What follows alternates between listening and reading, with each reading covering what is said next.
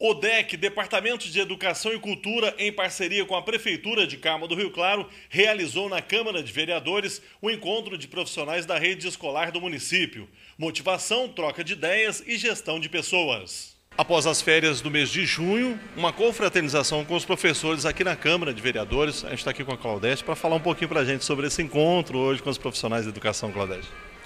É, hoje é um momento importante, né? A gente optou por fazer o evento, para fazer uma acolhida aos nossos profissionais da educação, para que a gente possa oferecer a eles é, incentivo, para que a gente possa motivá-los, para a gente possa continuar crescendo dentro do trabalho que a gente oferece.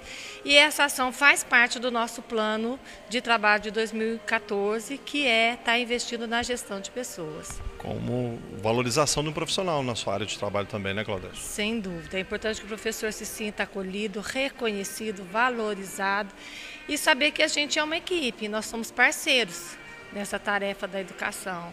Então, nada mais importante do que estar junto nesse momento. Todos os professores da rede municipal, alguns professores da rede estadual como convidados. A gente vai contar com a presença do Décio Cansado, que também é um professor, que vem né, oferecer para a gente essa palestra. Na oportunidade, a gente também vai ter acolhida por parte da nossa prefeita. Enfim, é um momento de alegria, de retorno e a gente espera que o segundo semestre seja muito produtivo e que a gente cons consiga atingir os nossos objetivos. Essa produtividade, um evento como esse aqui, é refletido nas salas de aula e num profissional futuramente. Sem dúvida, um profissional feliz, né, de bem com ele mesmo, valorizado, acolhido, querido, sem dúvida, o resultado é, é supera aquilo que a gente espera. A gente estava falando mais eventos como esse deveriam acontecer, né? A gente tem feito, sabe, tem feito com uma certa frequência capacitações nesse sentido, visando essa gestão de profissionais da rede municipal.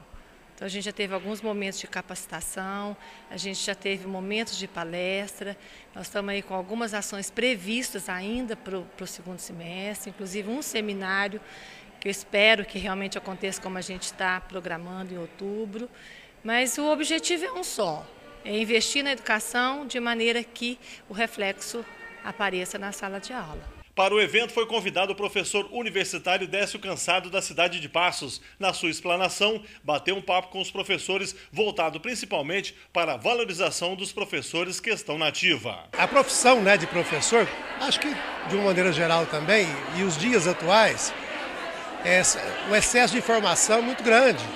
Então as pessoas vão se desgastando sem perceber, vão ficando desmotivadas, vão se acomodando. Então eu acredito que a iniciativa é ideal, é válida, porque no retorno do segundo semestre, então dá uma injeção de ânimo, assim, né? uma, uma visão diferente sobre, porque eu não vou falar só sobre educação, vou falar alguma coisa também sobre a vida, sobre alguma coisa de motivação pessoal também. E eu acredito que é muito válido e necessário. Todas as empresas hoje fazem isso. Né? O resultado de eventos como esse são as aprovações de universitários do município que se ingressam nas faculdades existentes na região, seja ela federal ou particular.